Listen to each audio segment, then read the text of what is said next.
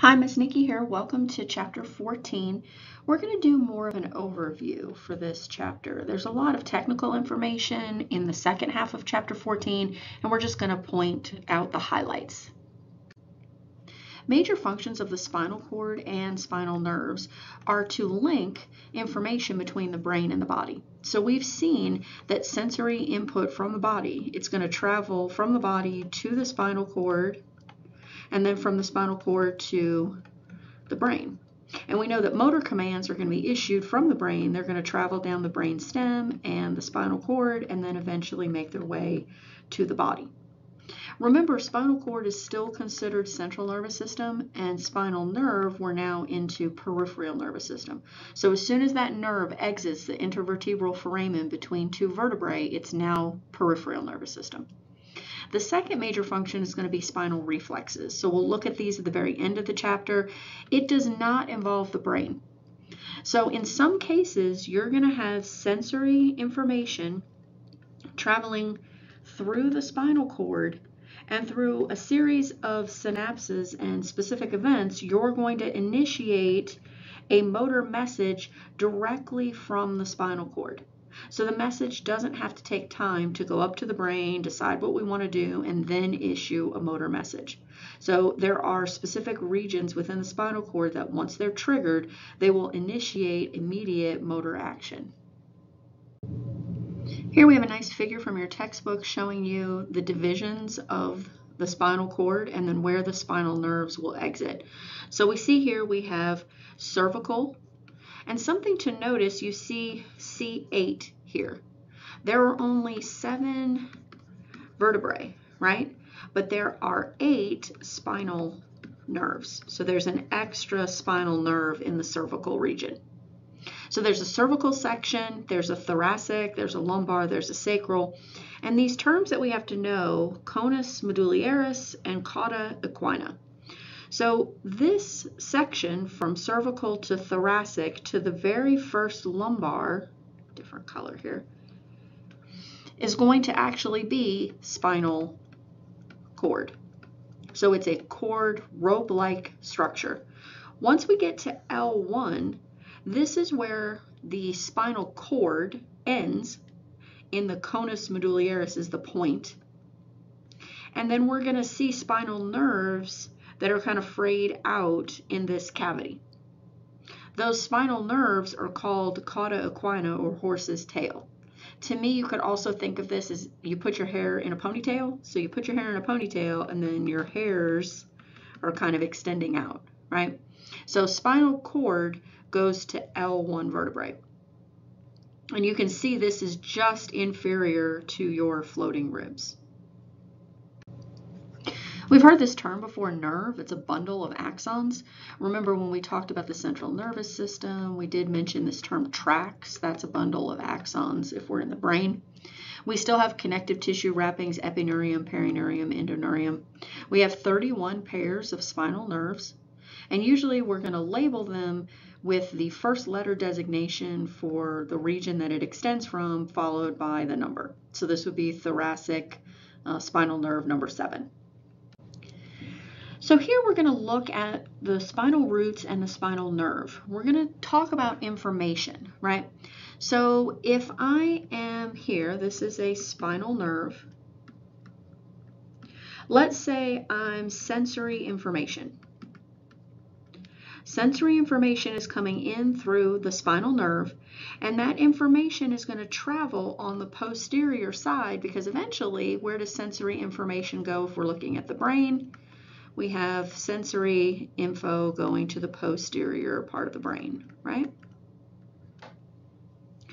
So if I'm sensory information, I'm traveling spinal nerve, then this section is called the posterior root ganglion. You might also hear people call it the dorsal root ganglion, same, same term. So sensory information is in the spinal nerve. It's traveling through the posterior root ganglion. Then it's traveling through the posterior root. It expands to these posterior rootlets, and that information is going to end up right here, which we'll talk about in just a little bit, which is called the posterior or dorsal horn. So basically, what are we talking about? We're talking about how do we turn peripheral nervous system, remember spinal nerve is peripheral nervous system, how do we turn that into a central nervous system message? Remember, the spinal cord here is central nervous system. So we're looking at how that information changes from peripheral nervous system to central nervous system. Now let's look at how motor information would be delivered. So remember, we have our brain and motor commands are issued from the anterior portion of the brain, right? So if I have a motor message, it's going to come down here, and this is the ventral or anterior horn of the spinal cord. So I'm here at the ventral horn, that's a motor message. That motor message is going to go out through the anterior rootlets, then through the anterior root, and then that message goes through the spinal nerve and then out to the body for some sort of action to take place. So one thing that we should notice is that the spinal nerve has both sensory and motor information, so we'll call this a mixed nerve. And again, what are we trying to do? In this case, since we're looking at motor, we're talking about how do we turn motor information from the brain, from the central nervous system, how do we turn that into a spinal nerve peripheral nervous system communication or information, right? So you do need to know these different terms and how information would travel through the spinal nerve to get to the spinal cord and then eventually make it to the brain. Let's walk through that again. If I'm a sensory message, how do I get from the body to the brain? So sensory message is going to enter from the body, spinal nerve, uh, posterior or dorsal root ganglion, posterior root, posterior rootlets, to the spinal cord here specifically this is my dorsal or posterior horn. Then I can go up to the brain. And remember, sensory messages are going to the posterior part of the cerebral cortex. So now let's do motor. If I'm at the brain and I want a motor message to be sent out, that motor message is going to go to the ventral or anterior horn, oops, horn of the spinal cord. Then it's going to travel through the anterior rootlets, the anterior root, and then to the spinal nerve, and then the motor message goes out to the body. So you should understand this pathway and then think about some complications that could happen. So what happens if somebody's ventral horn here is damaged? What if the ventral horn of the spinal cord is damaged? you may not be able to transmit these motor messages to a specific section of the body. Remember, these messages can travel up and down, so we could have a motor message continue out another section, but this particular section will not receive motor messages from the brain, even if the brain is sending them. We need to protect and support the spinal cord. It is important for communication between the brain and the body. So the spinal cord is protected by bone. We know the vertebrae, right? We're also going to see spinal cord meningeal layers, just like we did with the brain. And then if you remember, the central canal is going to have cerebral spinal fluid. We talked about this in the previous chapter. I know I've mentioned this already, that the spinal nerve exits through the intervertebral foramen. I want you to see that there always is a connection between protection and communication. So we want high protection for these structures, but we have to have communication. So there's always going to be some weak point. In this case, we have our vertebrae and we have our spinal cord, and I'll draw my little gray matter if you want to see my drawing, right? So we have our spinal cord and we have our vertebrae, but we have to have a point where the spinal nerve can exit so that we can have communication with the body. So there's always kind of this give and take between um, protecting these structures, but then allowing for communication to happen as well. Here's a cross section of vertebrae in the spinal cord. It's hard to see these layers. I'll show you another image in just a second. But remember, if we were starting superficial and we're going to deep, First, we're going to have the vertebrae here, right, the bony structure. Then too, we're going to have this fat pad, this epidural space. Anybody who's had a child, this might sound familiar to you. Then we're going to have the dura mater. So the dura mater is this gray structure that wraps around all of the other structures. Then we're going to have our arachnoid mater, and that's kind of this pinkish color here. And then we're going to have our pia mater. Remember, the pia mater is like the saran wrap. It wraps and sticks very close to the actual spinal cord. So kind of learn the structures. If you learn them from superficial to deep, it'll help. An anterior view for you, you can see they've peeled away the different meningeal layers. So here's the dura mater. It is really tough. It's elastic and lots of collagen fibers. And then we have our arachnoid mater. And then we have our pia mater that's actually touching. Real quick, a clinical view, lumbar puncture. So why is it if we're trying to collect cerebral spinal fluid, why do we attempt this procedure so low? Why do we do it below L1? Well, remember we have our conus medullaris, our spinal cord. And if you look at the other images, the spinal cord takes up a large part of that cavity inside of the vertebrae, the vertebral foramen, right? So if we go lower, say L4, we should just have the horse's tail, right? The cauda equina, the individual spinal nerves. So we have less of a chance of damaging any part of the spinal cord or having permanent lasting damage from a lumbar puncture. And again, why would we want the cerebral spinal fluid? We could test it. We could see maybe if you had um, certain types of cancer within the brain of the spinal cord, if you had some sort of bacterial infection in your brain or spinal cord, we could collect the cerebral spinal fluid and use it to make some sort of diagnosis. So I alluded to horns a little bit earlier, so we'll take a look at those in the next image. But remember there's gray matter. The gray matter is going to be unmyelinated, right? It's going to have cell bodies and dendrites and also those glial cells. So the gray matter projects from the center of the spinal cord, and we have these different areas that we label posterior, anterior, and lateral horns. Here we have the posterior horn. Then we have the anterior horn. Then we have the lateral horn. I like this image because it kind of color codes everything for you here. You can see that the posterior horn is receiving body sensory messages and we can see that there's a synapse event happening. So remember the sensory information is coming through the posterior root goes to the posterior horn, and then it's going to go up to the brain to the posterior section so that we can receive the sensory information at our cerebral cortex. And then when the motor information is coming from the brain through the spinal cord, remember that that event happens in the anterior horn and then out the anterior root. So this middle section here, the purple and this yellow, you can see that this is visceral, that would be autonomic, right, organs. So this section is going to be dedicated to um, autonomic sensory messages, and this section is going to be dedicated to autonomic motor messages.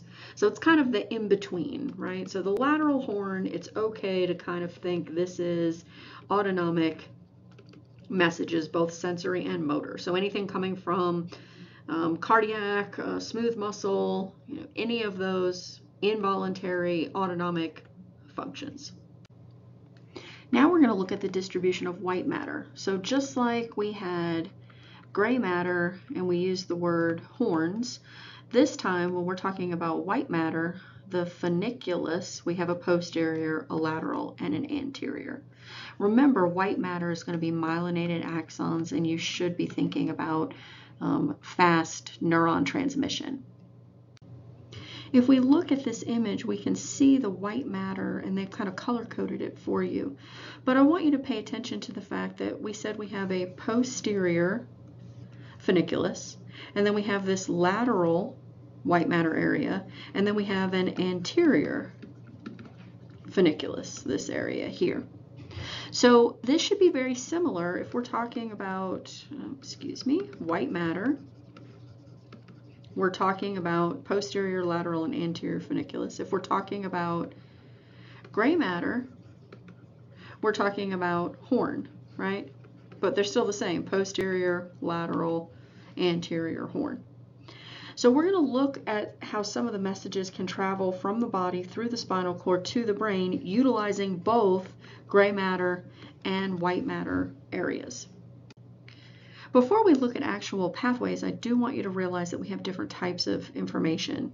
So we can have sensory information that's coming from the body, or we can have sensory information that's coming internally from organs. So sometimes these messages will take different pathways. This is where we're going to focus more on an overview. So you do not need to understand all of these sub uh, structures as the message is traveling from the spinal cord to the brain, but I want you to get kind of more of the big picture, right? Do we understand that there is sensory information coming into the spinal cord? So we're here at spinal nerve. If it's sensory, it's traveling on the backside, so that's posterior root.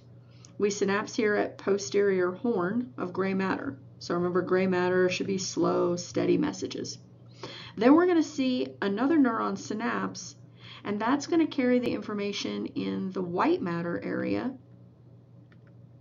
that we just talked about. This is posterior funiculus. So remember, this is sensory, carrying sensory messages. That's going to synapse with a particular nuclei within the brainstem. Specifically here, we're looking at medulla oblongata. That's going to synapse with another nuclei. It's going to travel through the midbrain. It's going to synapse here at the thalamus. Remember, the thalamus sorts all the information as it comes through the brainstem. And then eventually, the message is delivered here at the posterior um, cerebral cortex. So just kind of an overview of how messages travel in through the spinal nerve and kind of bounce around through these nuclei within the brainstem. They get processed by the thalamus and then get sent to a specific area of the cerebral cortex. Just to see another pathway, here we have again sensory information. That sensory information is coming through the spinal nerve, traveling on the backside, the posterior root, it synapses here at the posterior horn of gray matter, but I want you to see that it crosses through the bridge or the gray commissure of the spinal cord to get over here to this white matter tract area. So you can cross over and then send the message through different nuclei sections and then have that information deposited at the cerebral cortex. So it depends on what type of information will tell you what path it's going to take through the spinal cord, through the brainstem to the cerebrum. Next up, we'll look at some motor pathways, such as those that control skeletal muscle. We can see if we initiate a motor message here at the cerebral cortex, that motor message travels through the thalamus, through the brain stem, through various nuclei, and eventually is deposited here. And if you remember, that's the ventral or anterior horn of gray matter. And then that information synapses at this anterior horn and we're going to see it travel through the white matter and out the ventral root, then out the spinal nerve where we'll have a neuromuscular junction eventually at some point. So again, big picture, do you see that a motor message is generated at the cerebral cortex, travels through the thalamus, through parts of the brain stem, eventually synapses in the ventral horn, and then that information is going to travel through a tract in white matter and then eventually come out the ventral root, merge to the spinal nerve, and then eventually out to its designated target, the skeletal muscle. Of course, it's not that simple. The spinal nerve is also going to branch or split. Kind of think of the spinal cord as your superhighway. You're going to have your um, off ramps, and then you're going to have your roads to your street, to your house, right?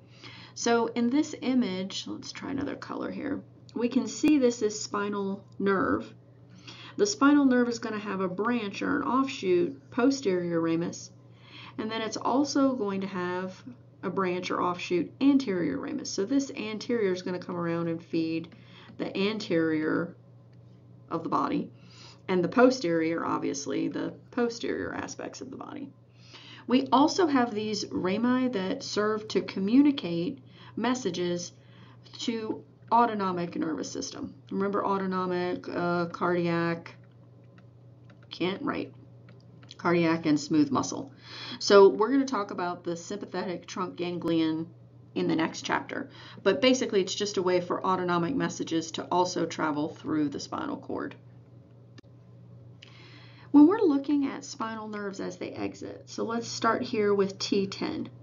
So as the spinal nerve is exiting, remember we have the posterior ramus that's innervating the backside or posterior side, and then it wraps around the anterior ramus, sends messages to the anterior side of the body. So this term dermatomes is talking about the segment of the skin supplied by a single spinal nerve. The case that we were looking at is T10. So T10 dermatome. So why would we map this? Why would we want to know which areas of the body or the skin are served by which spinal nerve? Well, because this can help us localize damage. Let's say somebody has lost feeling in this section of their leg. We can trace this back to an L3 spinal nerve. Maybe they have some impingement, right? Maybe they have loss of sensation. This also leads us to something called referred visceral pain. So remember when we talk about the spinal nerve, and the spinal nerve feeds into the spinal cord, and then those messages go up to the brain. We said spinal nerves are mixed they're carrying both sensory messages in and motor messages out, right? So sometimes the brain is having a hard time distinguishing between pain that's happening on the skin and pain that's happening internally. It's almost like the messages as they go through the spinal cord and up the brain stem to the brain, they kind of get confused. And the brain says, okay, this area hurts, but I can't tell you if it's outside or inside. So in some cases, um, we know these already, right? Like appendicitis. Your appendix is, is a little bit lower here, but this is the area around the belly button that hurts if you have appendicitis gallbladder's up a little bit higher here, right? So you can have pain that seems like it's external, but it might also be internal. So that's what we call referred visceral pain. You might also have heard about uh, left arm um, aching if you're having a heart attack. It's that same kind of process there where your brain is not really sure where that message is coming from because both of the messages enter on the same section of the spinal nerve. We should review shingles. Shingles is caused by a virus, and that virus can sometimes hang out in specific areas. In this case, it's the posterior root ganglion. So in the neurons that are in the posterior root ganglion, the virus is dormant, but it can be reactivated. So when it's reactivated, it travels through the sensory axons. Remember, posterior is receiving sensory information. It kind of goes backwards. It can go backwards and use the neurons to cause rash and blistering in the skin, burning, tingling. We do have a vaccine that we can use to prevent or reduce the severity of shingles. But this is something that just naturally happens. Some viruses have the ability to become latent and to kind of hang out. And it, once the immune system is suppressed for some other reason, um, you can have a resurgence of this virus and it can start making viral particles that make you sick. This is another section where we're really going to just work kind of on the overview. I want you to know that plexus just means branching. So we're going to have four main um, plexuses that we'll look at, and I'll kind of make the connection between the rami and this plexus or branching. So before we look at this cervical branching or plexus, just make sure that we know where we are. So if we have spinal cord, we know that we have posterior root and we have anterior root, and these are going to merge to form spinal nerve. And then we just talked about posterior ramus. And then we said we have anterior ramus. So everything here in orange is an anterior ramus. So this is cervical 1 spinal nerve anterior ramus. And you can see that there's more branching. So everything in yellow is cervical plexus. So off of C1, you're going to have several branches as they feed different muscles. You're also going to have overlap or communication.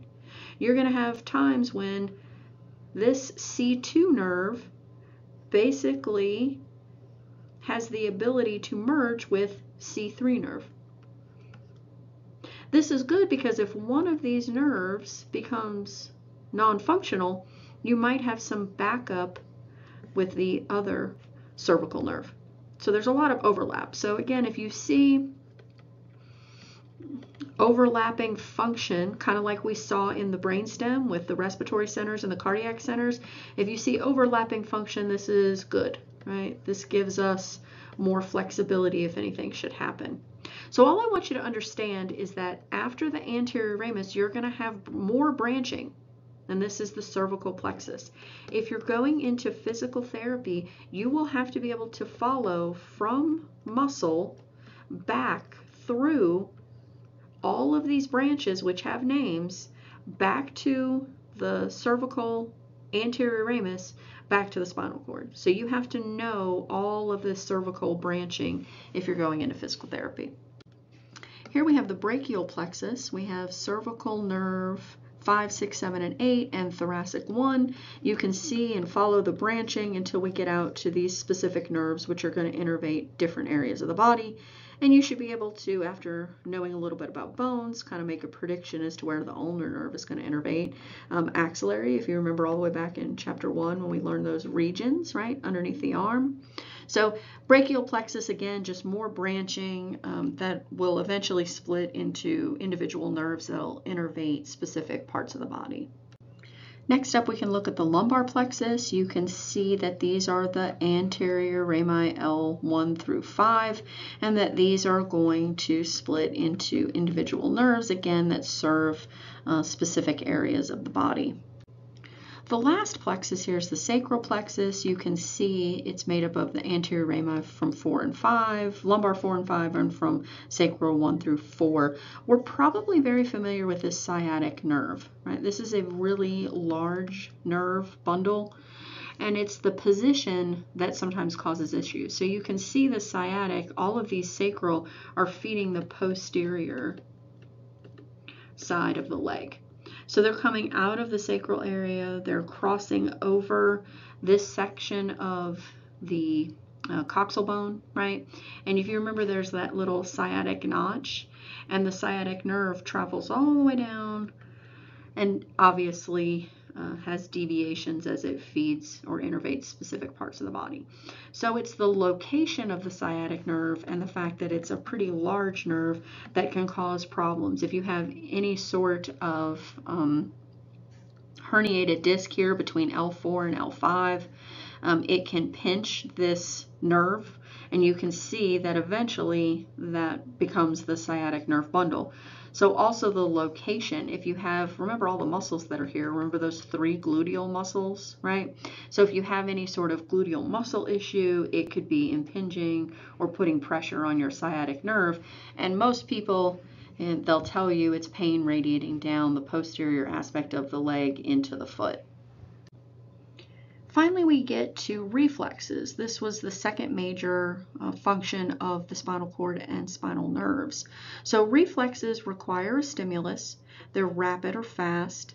They always happen the same. They're pre-programmed, and it's an involuntary response. You have no awareness of the reflex before it happens. And I like to think of this as a survival mechanism. Let's look at the components of a reflex arc. Remember, reflexes no brain motor command. So here's skin. You put your hand on a nail. That's the stimulus. The nail activates your pain receptors. That sensory message travels through your spinal nerve, your posterior root ganglion, your posterior root, and synapses here at your posterior horn. you can see that the message is split. So it's showing you part of the message is coming over here to the white matter to send the message up to the brain. But we also have another synapse happening here where it initiates an immediate motor action out the ventral root to the muscle and you lift your hand off of the nail. So the motor message is initiated before the brain receives the signal and has to even think about it.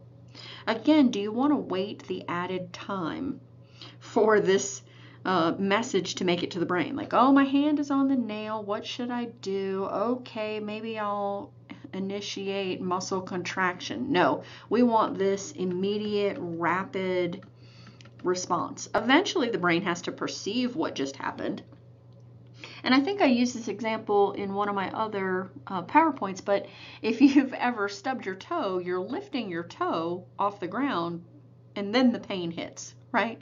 So you want that immediate reflex motor action to kick in, and then you can worry about how much pain you're in. You can have reflexes that have multiple synaptic events or just one synaptic event. So you can see here for stretch receptor, if we hit the tendon and it causes the uh, stimulation of the stretch receptor, that message is going to travel to the spinal cord, and there's only one synaptic event. We send out an immediate motor uh, message, and the leg moves forward.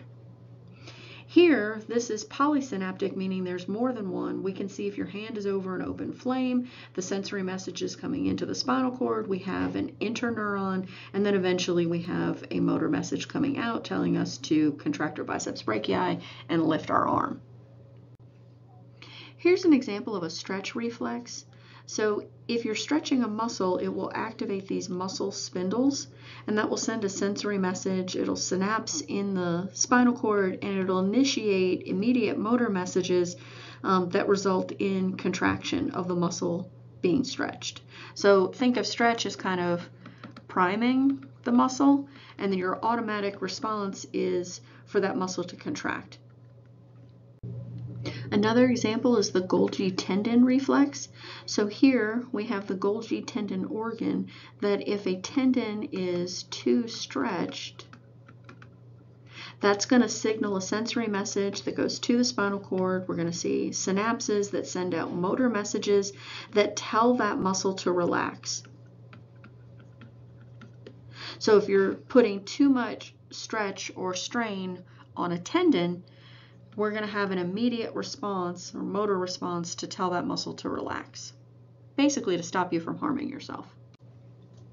When we're talking about the lower legs, because we're holding our body weight, right? Remember, all of our body weight is going down the femur, the tibia. We have to do both a withdraw and a crossed extensor reflex. So we saw the withdraw by itself before when we saw the arm and the open flame and we saw the motor message and the arm contracted and we lifted the hand away from the flame. With lower legs, you have to withdraw from the stimulus, right? So you have to lift your leg up, but you also have to counterbalance with the other leg. So in this example, we can see sharp rock, stimulus, right? So sensory message travels through the posterior section, synapses in the spinal cord. The spinal cord is going to do two things, right? Or the synapse in the spinal cord, those neurons are going to cause two different movements, right? One is going to be same side, send a message to the quads to lift your leg off of the sharp, painful object. The other synapse event is, you can see it's crossed over, right? Now it's coming out the ventral root, it's coming down to your opposite leg and telling those muscles to stay extended to balance you. So that's why this is a withdraw on this side, but it is a crossed extensor reflex. So we can use this reflex testing in a clinical setting um, for some diagnoses. So if you have underactive reflex, it could be some sort of damage to the spinal cord, a muscle disease, or maybe there's some issue at the neuromuscular junction itself. So that's going to cover all of chapter 14. Um, I'll see you next video. Bye.